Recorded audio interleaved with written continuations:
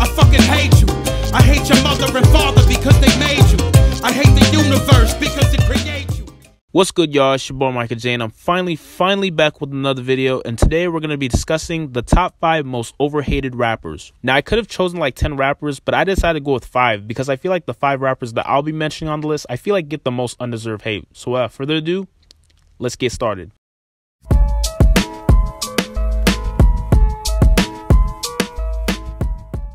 Wale has to be one of the most underrated and most underappreciated rappers of the new school because I remember fucking with his music heavy back in the days because I thought he made some pretty dope mixtapes. Although Wale did kind of seem like a huge sensitive hothead who couldn't deal with criticism because the way he would immediately snap at anybody if they said something that he didn't like. And because of that, it really rubbed a lot of people the wrong way because simply everybody knows that we don't support somebody who's very whiny. But over time, I really admired how Wale has not only humbled himself, but the way he's always been honest about being a flawed person who's dealt with addiction and depression. So for that, huge respect to Wale for his self awareness.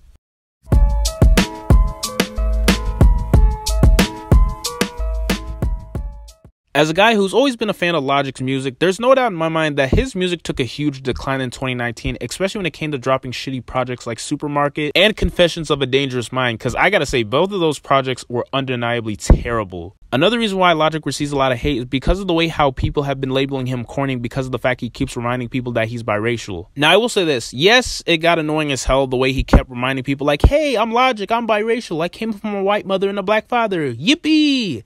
Like, yeah, that, that was really irritating as hell. But even with all that nonsense, I don't feel like that really makes him a bad artist, just an artist who just did and said a lot of things that you could say is corny. But on the bright side, Logic recently dropped his new album, No Pressure, which I feel like is one of his better albums in years since like probably the incredible story. See, I knew that Logic could redeem himself. All he just needed to do was just wake the fuck up and get his head back in the game, and that's what he did with this new album. There has been a lot of speculation about Logic retiring. I don't know if it's true or not, but if he is, then I say the best of luck to him, his wife, and his newborn son.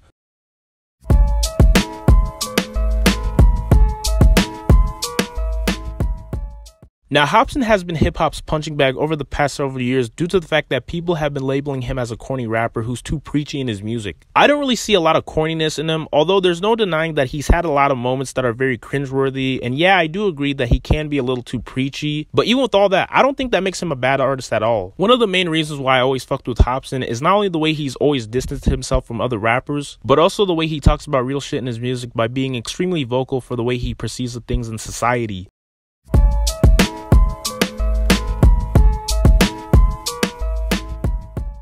Now, I covered a whole video on why Little Kim deserves respect about a year ago. If y'all haven't seen it, I highly recommend that you guys go check it out. Not only is Little Kim a hip hop legend, she's arguably the most influential female rapper of all time and a fashion icon as well. It's just so revolting on how people have not only been discrediting Little Kim, but the way they've been constantly throwing dirt on her name for over the past decade. Especially when it comes to poking fun at the surgeries done on her face. It's like, okay, we get it. Little Kim went way too far with her surgeries. Like, there's no denying that. But people always keep bringing that up to downplay her impact on hip hip hop. And not only that, people have also been trying to rewrite her history by pushing false narratives like, oh, Lil Kim was never that talented. Uh, she never wrote any of her raps. Biggie did all of her shit. When Biggie died, her career died along with it. Like, where the fuck do people get these stupid ass narratives from? Like, see, this is like one of my biggest gripes with these dunderheaded millennials running their mouths on social media like a bunch of smartasses. Like, they always be saying shit that's not true without doing any proper research. Because if you look at everything Lil Kim accomplished after Biggie's death, then it'll prove that that statement is just complete asinine. Keep in mind, Little Kim is one of the most impactful rappers to ever grace hip hop, especially when it comes to female rap, because she created a lane for like 80% of these modern female rappers. And if it wasn't for her, most of them wouldn't be doing this like overly sexual,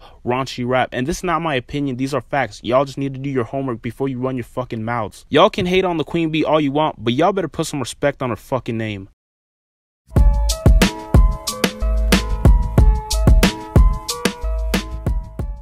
I really don't understand the hate J. Cole gets. Whether if it's bandwagon hate on the internet or people saying that he's boring, I just don't understand the J. Cole hate at all. Now, here's the thing if niggas don't like Cole, that's cool because not everybody's gonna like him. But at the same time, I just don't get what's so hateable about him. Along with Kendrick Lamar, I consider J. Cole one of the saving graces of today's generation of hip hop because the way he speaks his truth in his music in such an authentic way. Because most of y'all should know that I'm always a guy who supports a rapper that's real than a rapper who's fake as fuck. Plus, he also seems to have such a great personality because the way he's so down to earth and he just doesn't seem like a cocky douchebag at all. I guess we just kind of live in a time where people think it's cool to hate on good things. So, what do y'all think? Which rapper do y'all think gets the most undeserved hate? Feel free to comment down below. Be sure to subscribe to my channel for weekly videos. I'm your boy Mycah J, and peace.